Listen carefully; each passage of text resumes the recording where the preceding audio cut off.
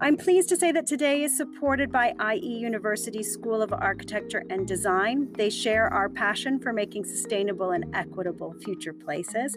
Um, and they offer an amazing hybrid courses that you can do from anywhere uh, with some amazing class trips. So I'm, I'm going to invite the Dean of the School of Architecture um, to join me on the stage now, Martha. So uh, Martha, it'd be really good to, to hear from you. We're hosting this talk a few days before International Women's Day you and I have worked together on, on many initiatives in the past to encourage more women into the built environment. And I, I know you were also at the center of the initiative to expand the definition of the Pritzker Prize to include the recognition of collaboration and couples. Um, so I, I, would really like to hear from you about some of the work you're doing at IE University to encourage women into the profession and around your perspective about uh, women's role in, in the built environment in general. Thanks so much, Christine. It's really nice to see you again. And, and what a special day to hear Nathalie de Vries. It's going to be great. Absolutely. At IE School of Architecture and Design, we believe in diversity. We believe in multiple voices and different points of view. And of course, women lend a lot to that debate and discussions that we can have. I, am pleased to say that in the fields of architecture and design, our faculty and student ratios are really, really good. We have lots of talented women as students and faculty members making really good contributions to the educational experience. In the field of real estate, it's surprising because the faculty uh, ratio in terms of gender parity is good, but still we don't have as many women students as we would like in real estate. And I think it's fitting as we're looking to this month celebrating women and their talent. Um, it's a good opportunity to encourage women to think about real estate and the many roles that they could fulfill in that field as, as a career path. And you and I have talked about why women are not so much in real estate. Well, I, I, think it has to do with historical reasons. It has to do that with the fact that real estate was often seen as bricks and mortar. On the other hand, I'm really pleased to say that it's changing.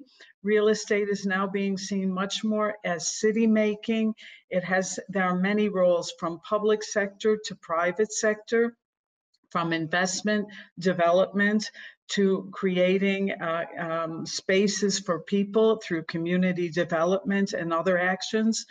I, I, think there's a broad range of, of positions for all people and uh, ones that could be very attractive uh, to our women students upon graduation. So if I could just mention, we do have two real estate master's programs. One, as you mentioned, is part-time. People can continue to work uh, and study, or they have, if they have family or personal obligations, they can study part-time over 15 months. Uh, unfortunately, it's on Saturday when the class time, the remote class time uh, takes place. On the other hand, it's it's a great opportunity to connect with people from all over the world and our top-notch faculty.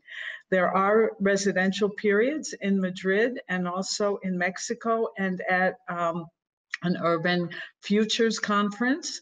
Uh, for the part-time program.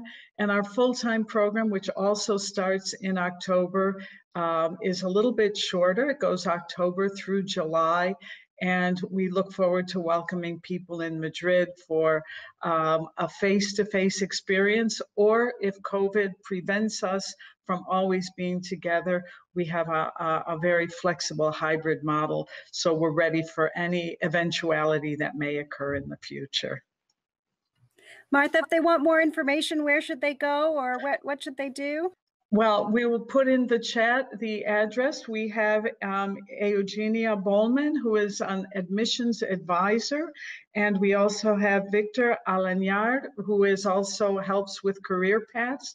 And one more thing I should mention, Christine, because we are devoted to women in all phases, and we know that different moments in life require different types of support, we do have three women's scholarships. And so I encourage people to speak with Eugenia or Victor because there's a, a scholarship with a mentorship program. There's a scholarship directly targeted to women to enter real estate.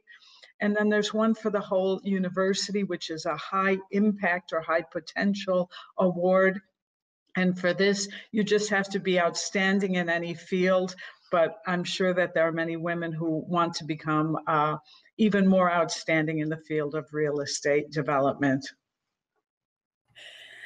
Martha, I, I, I, I, want to bring you back afterwards to have some reflections. I know how much you're looking forward to Nathalie's talk as much as I am. Uh, do you think we need more women in real estate to shape our cities? Do you see that impact on our built environment? A absolutely. I think diversity uh, of any sort uh, is the path when we have more voices. And I'm sure Nathalie will talk about this in terms of architecture and her role in the city when we believe that the way forward is richer, more consistent, more democratic, when it is open to many voices, um, then and and those voices express lots of concerns about sustainability, about new ways of living, about needs of a broad population. So we definitely need more women in real estate, probably in many fields. On the other hand, I think we're at a really good time where there is a transformation going on in real estate in cities. So it's a perfect time to study and jump into the pond. Well, thank you very much. And thank you for supporting this event. And I'm going to send you down the magic slide back to the audience. You'll be joining us later. So give a wave. Great. Great. See you later. Bye. And uh, it gives me great pleasure to introduce Nathalie de Vries, oh. co-founder and principal architect and urban designer at MVRDV, um, a studio that works at the intersection of architecture and urbanism. They're known for their innovative and experimental work. de Vries was also recently appointed city architect of Groningen. So please give an emoji round of applause to Nathalie. Nathalie, come back. thank you, thank you. well, that was a lot of uh, inspirational talk about uh, about women in the field, and um, yeah, today I'm talking to you from Groningen. Indeed, as uh, in my role as city architect here, we have fortunately a lot of female colleagues as well. So uh, things are going all right here, but they can always go better. They always always can be better, of course. Uh, yeah, thank you, thank you for giving me the the stage and. Um, being able to give this lecture uh, to you today uh, from uh, from at least two of my uh, positions, and I will start to share the screen. Is that okay? Uh, Brilliant! Yeah, go for it. We can't wait. Um, okay. I'll, I'll just stick around until I know your slides are up, and then I will vanish and return for the Q and A. Yeah. So, Christine, tell me, do you see my first slide now? Audience, can you see it? Everything? Yeah. I am. Uh, I'm. Uh, I'm seeing my screen now. So uh, yeah, I just have one question. Do you see my mouse as well? If I if I move it? Yeah. I don't. Okay. I don't see. Think I see your. I don't see your mouse. Okay, maybe somebody. Well, I just have to uh, explain as as, okay. as, as good as possible. Thank you. Okay. Great. I'll well, see you afterwards.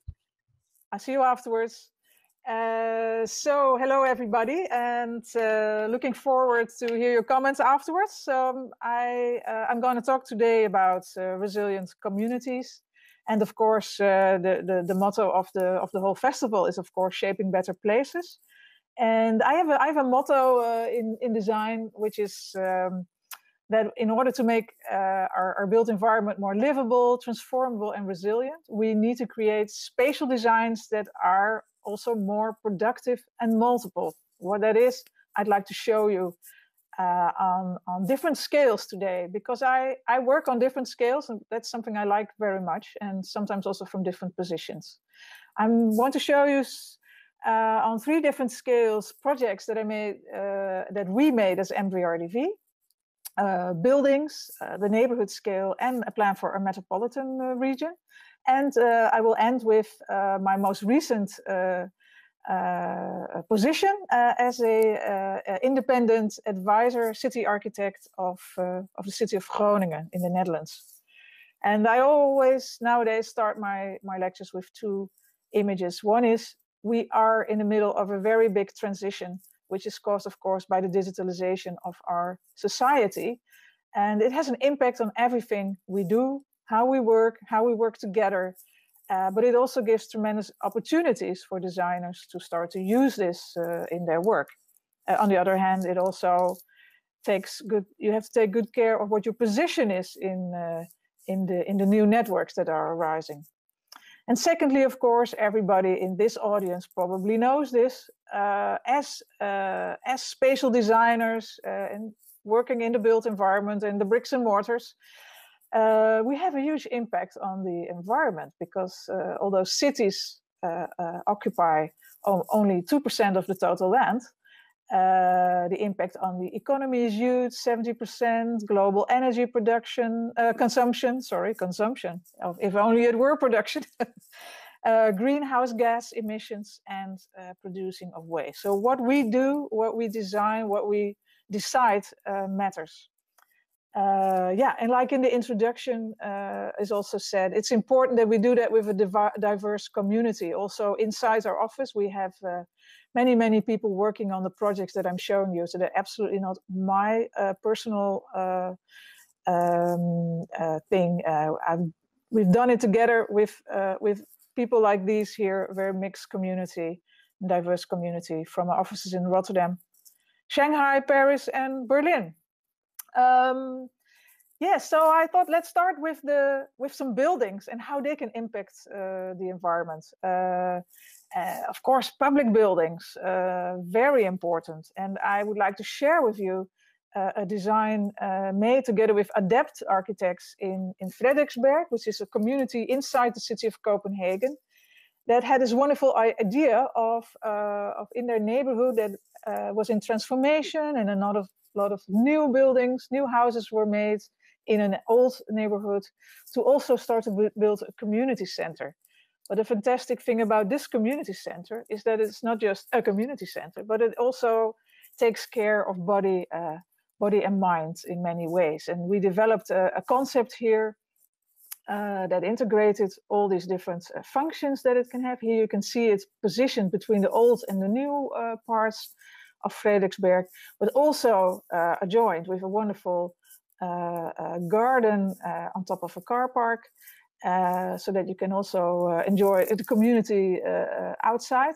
And um, what was important in this design is is already this this multitude or this multiplicity, as I call it, because it's a building that has many functions but a lot of them can have double or triple use. So you have individual areas in the building, but the whole building in the weekend, for example, also doubles as a huge playground, which is important in Copenhagen where it can be cold uh, and dark.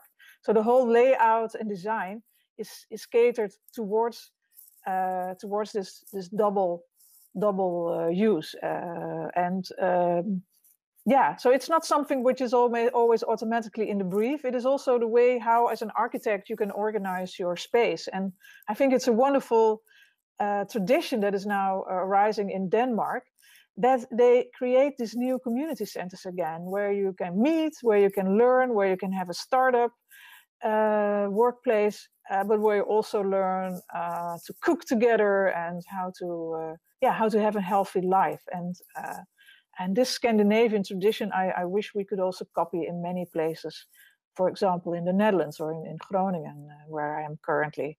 But you might say, well, that's a public building and there's public interest and, and public funding, although there are also yoga classes and private entrepreneur in this in this neighborhood center. What about when you start to build, uh, let's say, a completely privately developed building? Uh, in this case, we made a, a, a, co-working office in the in right in the center of a Polish town called Wrocław, and that's where we start to talk. And this this uh, this developer, uh, this this entrepreneur also uh, had it uh, high on the list. if we occupy such a central place, maybe as a private company, you can also give back to to the city, and so the whole. Um, building, which is partly uh, uh, using uh, existing ruined facades that were still on the site and integrated that in the new building, uh, gives a, fantastic roof terrace, uh, adds uh, art to its to its restaurants and meeting places, and yeah, makes makes the whole environment more active and and accessible. So this is a building, although it's private, that completely, let's say, opens up its its its its lower floors and its top parts. It acts as a beacon of light in the evening uh, making it a nicer and safer place to go. And uh, uh, who would thought, who would think that a co-working office can be a can be a great place to to go? And so it's not just the public sector, but also the private sector, and with us, uh, with the help of architects, that can help to to create these kind of uh, spaces. Um, yeah, wonderful is I think in all cases and in many projects also always the the, the collaboration with with local or she's she's national known artists uh, uh, who made the fantastic murals about uh, reflecting history of Wrocław. Uh, Alicia Biala, who greatly uh, contributes to this uh, to this space, and that indeed it is a it is a beacon. so very interesting to think of buildings uh, even if they're not publicly accessible, if you can somehow negotiate accessibility on rooftops and uh, and the plinths of uh, of buildings, and then and then you can work together really greatly. On the neighborhood scale, we also design with quite a particular uh, attitude. We now go to Brittany in France, and this is this is a project of, of housing surrounding a nice uh, cafe and on a uh, on a historical spot um, uh, of of, a, of an old tax office. Therefore, the word octroi. octroi. and uh, yeah, so this is actually, of course, a kind of regeneration project, structuring a place that was formerly not used for housing and uh, you can see here also what kind of dialogues we then have with the community, in this case, in the competition, with the politicians and the, and the jury. Uh, we always show what we at least should do in the velometry, but then we say, wow, how can we make this place truly interactive and porous? Because it's such a nice site. It's, it would be a pity if it doesn't open up more to, to the context. And if it's, if, it's, if it's not acting like a wall, but more like small small landscapes uh, landscapes and and in that way we can even give more people in the building and uh, around the buildings views and uh, and terraces and and then literally eh, as a fourth step for everyone and wouldn't it be nice if we then also really green those uh, those terraces to emphasize its uh, its organicness uh, even more and then in the next step we also added section cross sections through the building opening up so they were able to walk and see through the building. And we're currently talking to artists again to, to create public lobbies uh, uh inside uh, the building as well, uh, to, to, to really make it interact with its environment uh, very well. Cars are parked underneath. Uh, a landscape is made, the, the, the, the, waterfront is made more accessible. And by introducing these big hallways in, the, in the little image, I always know that uh, even though it's in uh, not it wasn't in the program that these will be places where people can meet and potentially even uh, organize uh, events together with with the with the other inhabitants in the building. You have already let's say a festive space for that or or a space to to to hang hang around and and uh, fortunately it's it's very mixed and diverse uh, through the through the through the local regulations, the, the, municipality made sure that on such a prominent spot near the city center of of Rennes, uh, uh, the community that will be living here is is really mixed. It's really a mixture of all kinds of affordabilities, uh, and it also includes a part that is super. Uh, super sense, sense um, um, sustainable in passive house style, if only it could be the complete project, but well, that was probably the reality in 2018 out there. Uh, but we've learned a lot enough to to do more and bigger projects uh, uh, this way. Uh, yeah, and we we really wanted to give this whole building this atmosphere of a ensemble, And like uh, like I said, we wanted to green uh, the terraces so everybody gets their own pots and water taps on their balconies to make sure that these plants can be maintained as well. And we'll be greening some some collective roofs as well. And here you see the effect of one of the porosities, as the French call it, porosité, entrances that double as as meeting spaces and and of course some some uh, commercial functions, uh, retail functions at the at the bottom uh, as well. And uh, like in in in in our other buildings, uh, how can we also make build uh, a socially safe place by creating also beacons and and light in the public space in the evening? And fortunately, it's under construction, so the proof will be in the pudding, of course. Um, continuing with uh, neighborhoods um, in, a, in a city in, uh, in Eindhoven. Uh, again, a sort of densification of an even larger uh, scale.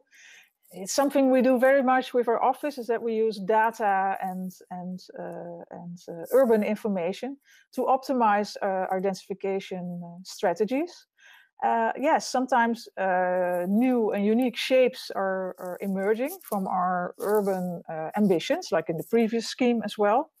And in this case, uh, optimizing uh, uh, the amount of square meters that we can build without compromising the quality in the streets meant that we created this rather specific shapes for housing.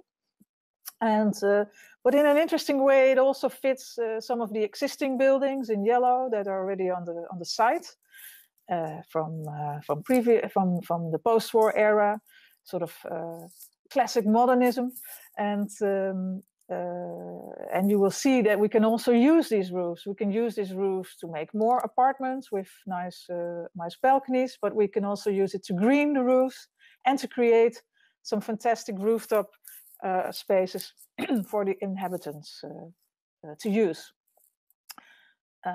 again, here the car is, is removed from the street. It's it's below in in car parks, and um, yeah, the different positioning of the building allows us to make different types of of, of collective spaces. Uh, make we make sure that it's being greened as well because that's that's important too. And uh, it is important to to to deliver also a diversity of of outdoor spaces i think when you create a new neighborhood eh? like we we like to position our buildings in such a way that they that we make sort of semi courtyards uh, smaller and and and and wider uh, shared uh, spaces and even bring that up into the buildings. And here uh, yeah you also start to see of course that the new reality is fortunately and in the netherlands we are emerging fast in this direction is that we try every possible thing to integrate uh, sensitive, sensible uh, uh, elements in the schemes regarding water and, and energy uh, collection and, uh, and green and good uh, building. Um, yeah, like I said, a, a view of this of, the, of this collective spaces we are making as much as possible in spaces. Uh, uh, in, in, in our projects, whether on demand or, uh, or integrating them with, with, with corridors and, and entrances. because this is also a way how you can create community to, to, to make spaces that where things can be shared. And we notice, fortunately, more and more that um, that there are amenities added to housing projects. It's not just an endless amount of repetitive houses, but that you also add uh, add amenities uh, to the scheme that people can uh, use together. And I think the past months have learned us how valuable these kind of spaces close to home can also be. Mm, I was imagining that I would be talking uh, for a large part also to a British uh, audience, so I couldn't resist adding an old scheme we once made about the densification with townhouses in uh, in an old town in the city of Leiden.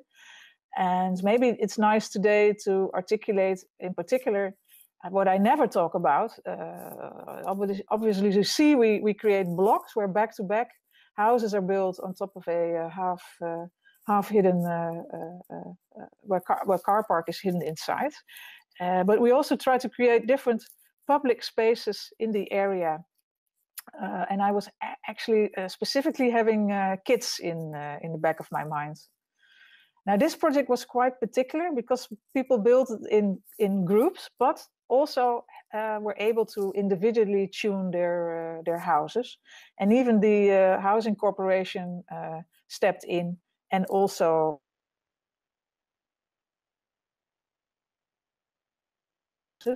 So a very dense typology where you have close to your home patios and uh, and sometimes uh, roof terraces, but also uh, and this is one of the examples by another architect who did an infill in this uh, in this house in a very basic uh, basic way.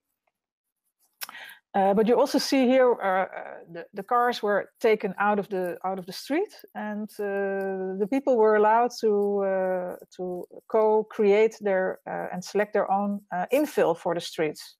So um, they they build it together with the people in the back of the block and and with their neighbors across the street from the other block. They also created different streets, and I went there again two summers ago to see it after 10 years uh, of, of building and found luckily all these kids hanging around and stuff. It was quite a hot day, but a lot of signs uh, of uh, of uh, of using, and also for the for the bigger kids, we created uh, next to you saw some big patch of water. We had this sort of hangout for the for for little bit older uh, uh, kids that are sitting in the lawn on the lawn here, and the smaller kids who have their own special play, playground as well that can also be uh, supervised by by parents if they go there. So all of this uh, builds up, I think, to uh, to a good, uh, good, to a good neighborhood in my in my opinion. I keep on talking very fast because I have so much to show to you. on the large very large metropolitan region scale, we participated uh, in, a, in a Resilient by Design uh, project in the United States. And after we finished our, our group work with uh, an international team, we teamed up again with, uh, with Dutch uh, firms. Uh, Del Deltares, an independent water research, water and soil research center, colleagues of One Architecture, mobility consultants of Goudappel Coffeng, and we were supported also by the uh, by the by uh, by the Dutch uh, state and local embassy to check again on what we thought was actually a very Dutch approach that could help. And we thought it would be nice to offer that as well to uh, California, to the to the Bay Area. Um, the the resilient by design challenge uh, was uh, two years ago in uh, San Francisco and the Bay Area Bay Area communities, and this is just a, an image of many of the teams that participated and the projects that they made. They were all sort of localized. We were working on different spots, but as a as a collective, uh, as a Dutch collective, we'd like to think about the water on a bigger scale, as you might maybe expect from Dutch people. And uh, started, of course, with the analysis of the urgency of, of what is happening in this region. And there are many more regions, I think, in the world that have to face quite complex uh, uh, uh climate change uh, developments, uh, floods and droughts in, in California, but also a severe housing crisis. people stuck in cars for many, many hours because they have to commute uh, also again because of high housing prices. And then there's of course your occasional disaster every now and then uh, that happens as well with uh, with earthquakes and hurricanes and and all these kind of things. Now, calmer image, the Netherlands, no hurricanes. We do have earthquakes actually in the area that I'm sitting in, but that's another uh, story. Uh, but uh, we thought we would like to bring another scale, the regional scale, to the to the table uh, and uh, and framed um, framed actually many of the problems as a combination of too little and too much. Uh, too much water, too little water sometimes, uh, rapid urban growth, uh, all the risks I was just pointing out to you and uh, to you all, and and identified them for the whole area and try to explain how everything is connected to everything and uh, how a simple solution in one neighborhood, uh, yeah, might be a, an answer uh, beginning of an answer, but it's no by no means you should uh, connect everything as much as possible on a on a larger scale. Uh, so this is just an inventorization. Uh, it looks dramatic, and it is dramatic of all the topics that this region is facing. And what we like to do also is mapping and diagramming uh, and visualize what we what we see. So all these uh, uh, aspects of too much and too little, we, we identify together uh, uh, uh with our team. I'm not going to read out all these images, but you can sort of imagine looking at all these images of uh, eh, fragmented policy making, increase in sea level rise, problems of, of commuting and, and systems around the bay of traffic, uh, and I've been mentioning uh, uh, endlessly repeating bad solutions, planning up uphill, but thereby increasing problems sometimes. And we also said, well, we are a collective working together. Uh, we are organizations of uh, experts, designers. We want to collaborate with you on a municipal scale, but maybe also on a regional scale, because the tools we have to develop are are systematic uh, tools that we need. Um, water management, area development, in, inclusive design, uh, sustainable uh, mobility, and they all have to work together in a systematic way to be able to deal with this uh, this topic. So the topics themselves are huge, but if all these small policy making things are integrated and working together, you can actually form a really resilient way of working. Uh, and all the things added up uh, form fantastic systems that might make the whole area more uh, more resilient. So, um, but you have to know how to how to integrate all these things together. Yes. So as Dutch, we were thinking big on a on a, on a larger scale, on the regional uh, scales, and and there are things you can only do if you work on that scale, like uh, uh, preventing everybody from getting uh, uh, wet feet.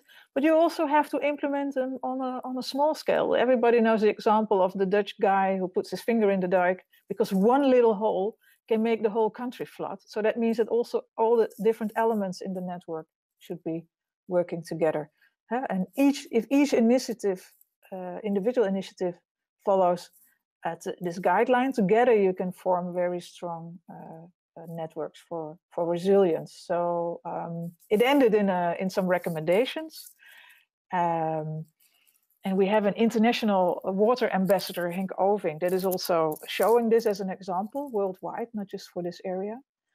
So, yeah, advice update all the plans uh, with water uh, and, and climate adaptations. Eh? We need this, you need this on a, on a large scale to have these visions we do this in the Netherlands. In the Netherlands, we also said maybe there should be one commissioner, not a politician, but an independent figure who is just concerned about solving the problems of resiliency. Don't make it politic, political. Uh, you need long-term breath and long-term budgets to solve your problems. Uh, talked about digitalization. Make sure you have monitoring systems uh, uh, in place. This is just a website on the, urban groundwater network of, of Amsterdam and of the Netherlands. Uh, develop collective design principles. Uh, we should join forces together. Now, as people working in cities, you know, of course, what the good impact of collective visions on design principles uh, can be. And uh, you can start bottom up and top down and bring all this together. And that's a great, uh, a great way to, to do it and to achieve it. And you need both. And then uh, you can create a truly uh, resilient uh, uh, environment.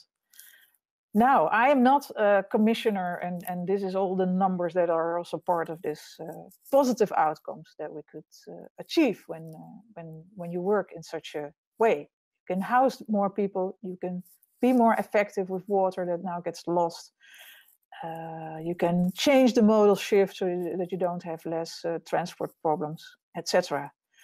So now I'm coming then to my uh, fourth scale, uh, the city, uh, and I'm I'm recently asked to become uh, independent advisor, city architect to the to the city of Groningen. excellent, of course. It makes it possible for me to think and work and collaborate on the scale of a city, on on the subjects that we've been that I've been talking about already for for for the past uh, 30 almost 30 minutes. And uh, I, I, just started uh, first of January, but uh, you can imagine, of course, my fascination for this type of uh, job because I am now really at the forefront uh, of of a city that has many many projects running at the same time. Quite a progressive city. Um, they have around 205 uh, inhabitants. It's in the north, where I was born, also not far from this uh, from this city, and I, I grew up. Uh, it's the fifth municipality in the Netherlands. There's a lot of jobs, students, international students. It's a very young city. Companies like to come here to to start uh, so uh, start up their, their firm. So far, the city marketing, you could say. To the right, you see uh, uh, the, the, the, the, city boundaries. It also includes two villages. It's a very diverse city, very old university city, very historical uh, development, but it also has universities, hospital, hospitals, uh, developments from every thinkable era uh, in architecture. And it has a lot of ambitions as well. Uh, cities all having to do with the quality of life. They, they branded themselves the, the, the next city. It's about bicycle, green, sports, uh, diversity, uh, affordability, etc., uh, etc. Et but as a designer, of course, I I also know how complicated and complex it is to bring all these things uh, uh, together. And it also uh, asks for new visions on old topics. Eh? So how do you make a, a, a centuries old square more, more climate resilient? Uh, fantastic that this city was already in the 70s uh, uh, banned cars from its downtown. But whoa, yeah, with all these people and bicycles, how is that going to develop and keep, keep lively? uh, yeah, great uh, station area is developed, uh, but we also need to add more uh, more housing uh, uh, to this area now. It's political targets: build twenty thousand houses, do it mostly in inner city, transform. old neighborhoods, make sure that nobody tries to rip off students all the time with bad tiny apartments and and rooms. Uh, this is just the, all the renewal in the city. I'm just giving my shopping list to you. How do you densify uh, in inner city old industrial uh, areas? Can you connect to the green and the water systems? Uh, it's all there. Uh, this is uh, they organize manifestations a lot. This city, so you might have a look. But it also is a is a city that we become wants to become CO2 neutral. So there's discussions on where to put solar parks and windmills uh, on top of uh, putting a lot of solar panels on roofs and behaving more energy uh, friendly, etc., etc.